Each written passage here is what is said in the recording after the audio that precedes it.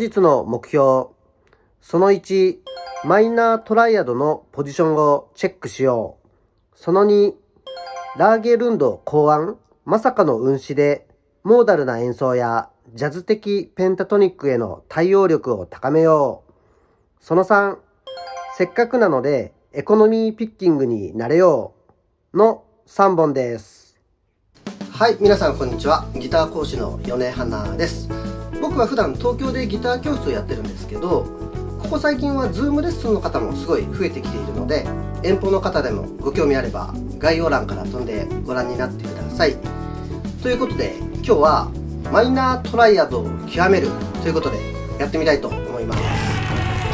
今回なんでこれを紹介しようと思ったかと言いますとトライアドって3和音のことなんですけど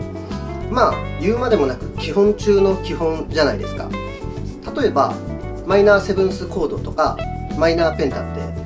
もちろんマイナートライドをその中に含んでますよね。さらにマイナー系のスケールっていうのもまあもちろんたくさんありますけど必ずマイナートライアドがまずあってその周りにいろんな音を持ってるわけですよね。なのでその土台になるトライアドがしっかりできてないことにはマイナー系のあらゆる演奏がうまくいきにくいと思います。そんなね超基本的で超重要なマイナートライアドなんですけど皆さん意外と普段使わなくないですか？これなんでかっていうとめちゃくちゃ弾きにくいからです。ギターってペンタとかはすごい弾きやすいんですけどトライアドってなると性質上どうしても弾きにくい楽器なんですよね。それをなんと解消してくれるのがラーゲ式の運指になります。これはラーゲルンドっていう、まあ、すっごい上手いギタリストの方がいるんですけど彼の演奏を見てると分子の概念が通常の人と少し異なる部分があるんですね。なのでそんなラーゲー・ルンド様のアイデアを借りて我々もマイナートライアドを極めていきましょう。トライアドっていうとそんな地味な練習やりたくないよって思われちゃうかもしれないので最初に僕が思うトライアドのメリットっていうかそのパワーみたいなのを一つお話ししてみます。例えば a マイナーで言うと、まあ、ペンタは音が5個。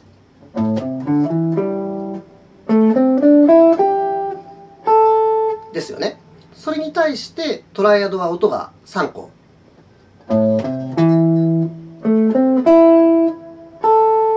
になりますと。なので、ペンタで上がると、ですけどトライアドで上がると、ね、下りもペンタだとですけどトライアドだと、ね、音が3つしかないので一見簡単かなと思いきやインターバルが大きくなってちょっとスピーディーだったり派手な印象もありませんか？もしペンタで往復すると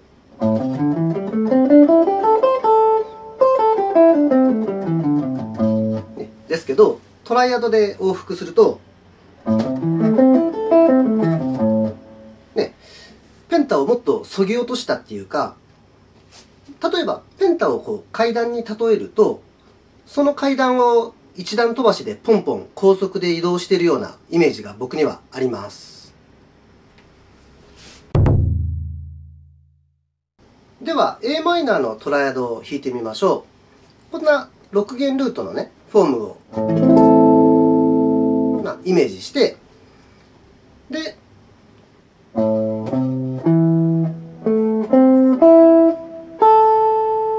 こうなります。これねまず皆さん一旦自分で弾いてみてください。どんな運指で弾きますでしょうか？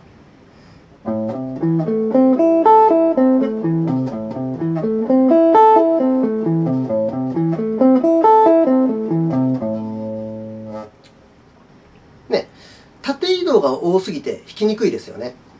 ちなみに今はこうやってアルペジオする場面ではなくて単音のソロで1個ずつ弾くことを想定してるんですけど普通に考えると縦移動のところが同じ指になっちゃうので音が重なっちゃったりタイムも不安定になりやすいです。頑張って練習してもやっぱり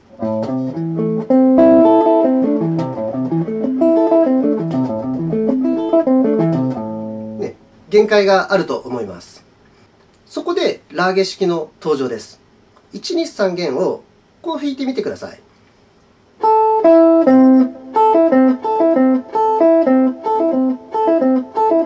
ね、ジョイントを使うとどうしても濁っちゃうんですけど指を分けることで、ね、クリアに弾くことができます。コツなんですけど指をこう縦に揃えようとすると場所が狭いですよね。そこで例えばこんな練習をしてみてください。同じ音を指をずらしながら、ね、弾いていきます。極端にやると1音ずつポジション移動しながらこのこういうふうにポジションが移動してると思ってでこういうことですね。ね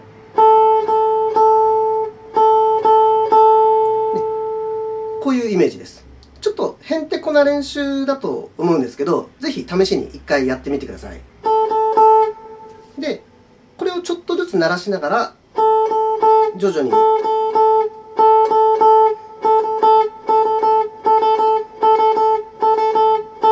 ね、こうやって同じ音を違う指で弾いてみます。あの音がこうやって途切れないよう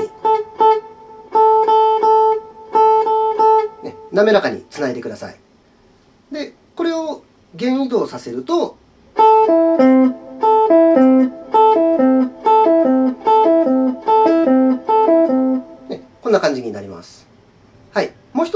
トがあって、低音源側なんですけど、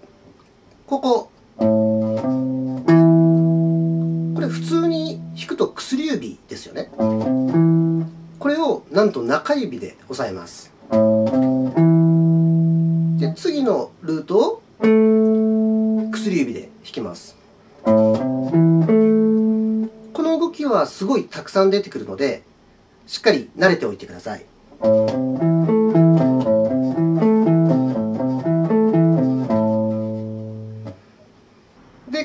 つなげて弾くと、こ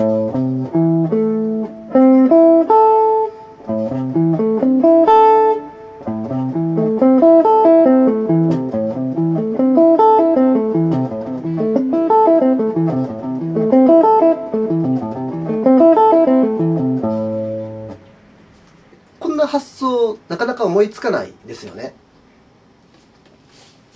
あとね、もう一つ範囲を広げて、1弦8フレまでいきたいなって思ったら、指を変えます。この1弦5フレの薬指を人差し指に変えます。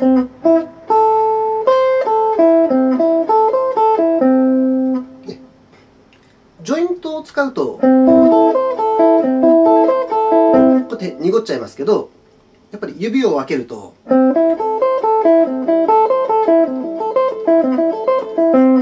こう綺麗に弾くことができます。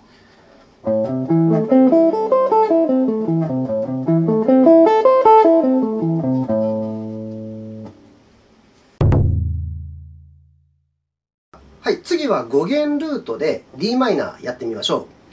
このフォームの場所ですね。で、低音源の部分はさっきと同じで、に中指を使います。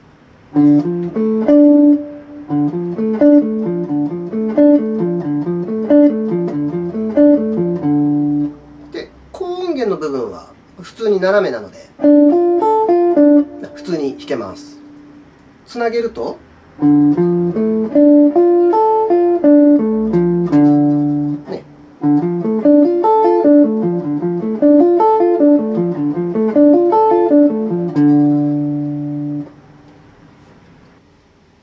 拡張版として低い下の5度も入れてみましょう。これは人差し指で大丈夫です。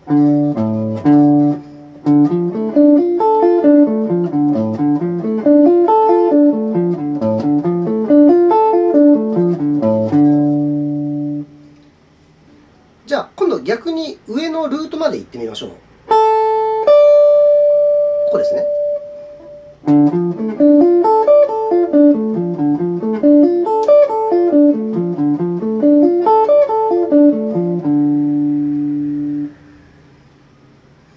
ちなみにですけどストレッチの時にハンマリングを入れるとちょっとかっこいい気がします。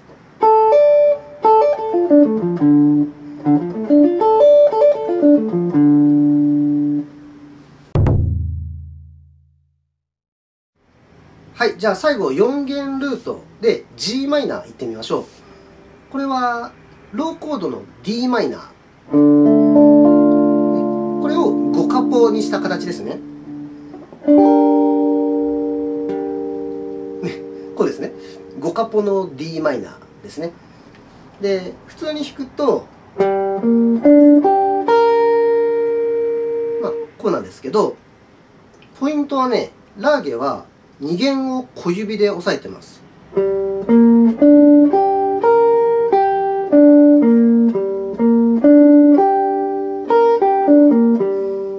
これはおそらく小指のポジションを固定するためだと思います。実際弾いてみると確かに理にかなってる感じもします。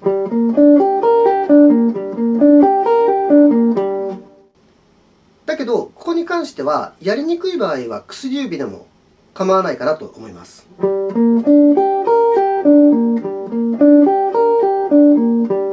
そうするとこのローコードの時と同じ指使いになるので分かりやすいです。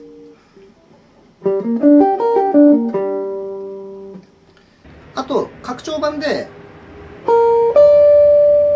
ここまでいってもワイドに演奏できます。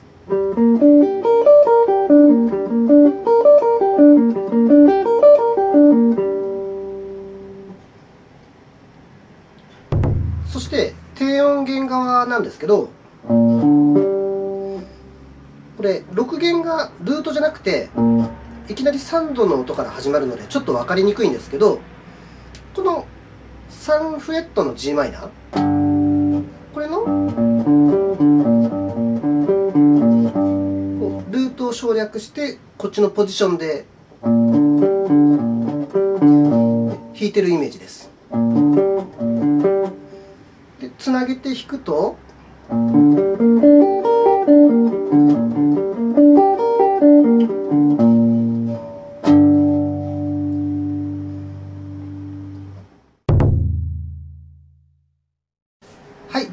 ササイズやってみましょう。今日は3つのフォームをやったので今度それを使って a マイナーだけを3つのポジションで弾いてみましょう。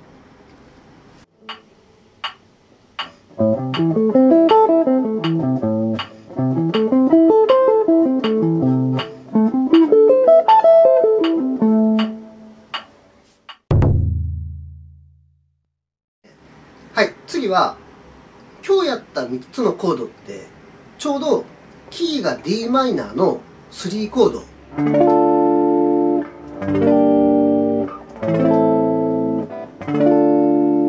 になってるんですね。なのでこんな進行ですね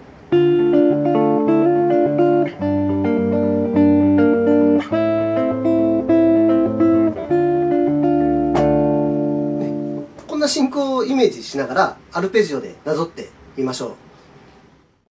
は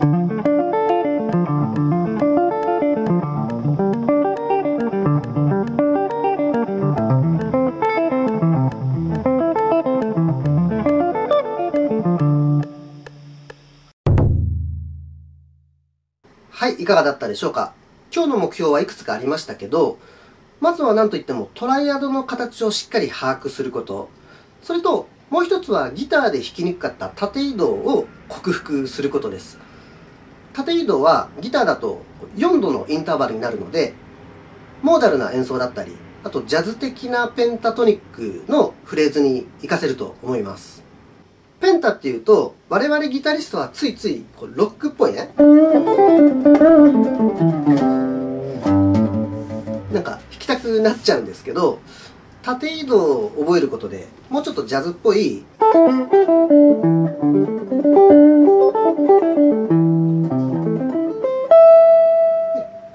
イプのペンタトニックを弾くことができます。同じ a マイナーペンタなのに雰囲気だいぶ違いますよね。あとちなみにラーゲルンドって一体誰ってずっと思ってた方いらっしゃるかもしれないんですけどまああのいろんなとこで聞けるのでぜひ聞いてみてください。で当然好き嫌いはあるかもしれないんですけど例えば1曲だけ無理やりね選んでおすすめするとしたらの「アイドルワイルド」っていうアルバムに入ってる「カムレイン・オア・カム・シャイン」ですね。降っても晴れてもっていう曲がおすすめです。これだったらねすごいゆったりスイングしてるのでまあ多くの人にとって聴きやすい演奏なんじゃないかなと思います。ということで以上ラーゲ式マイナートライアドを極めるでした。